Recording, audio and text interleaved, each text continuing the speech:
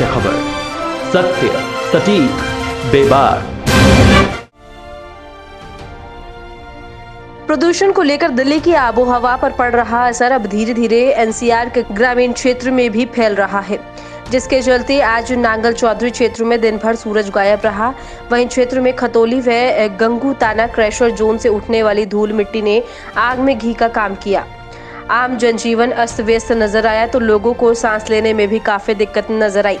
ग्रामीणों का कहना है कि यहाँ से उड़ने वाली धूल मिट्टी से वातावरण में और ज़्यादा प्रदूषण फैल रहा है, जिसके कारण सांस की बीमारी के साथ साथ काफ़ी चर्म रोगों को भी बढ़ावा मिल रहा है। जैसे कि मैंने अखबार में पढ़ा कि भाई पाँच तारीख तक रेसर बंद हो गई।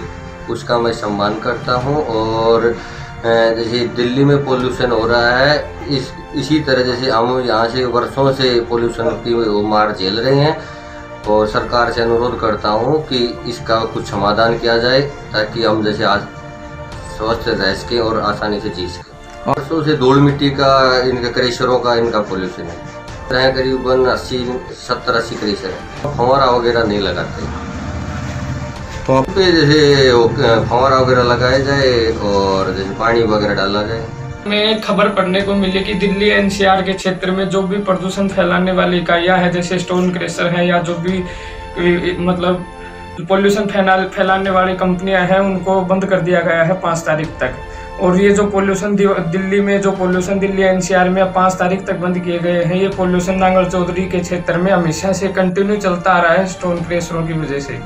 और जिस तरह से दिल्ली में या एनसीआर क्षेत्र में पाँच तारीख तक पोल्यूशन कंट्रोल करने के लिए इन इकाइयों को बंद किया गया है, उसी तरीके से यहाँ के पोल्यूशन को सुधारने के लिए भी आगे सरकार को कदम उठाने चाहिए। यहाँ की जनता पोल्यूशन से काफ़ी टाइम से दुखी है और इस तरह पाँच चार दिन का बंद करके इस चीज़ का छुटकारा नहीं मिल सकता, इसके लिए कोई ठोस कदम उठानी चाहिए। आपको बता दें, प्रदूषण के खिलाफ काफ़ी बार क्षेत्र के लोगों ने, सामाजिक संगठनों ने आवाज़ उठाई। सामाजिक कार्यकर्ताओं द्वारा मामला एनजीटी से लेकर सुप्रीम कोर्ट तक पहुँच गया है, लेकिन फिर भी प्रदूषण पर कोई अंकुश नहीं लग पा रहा है।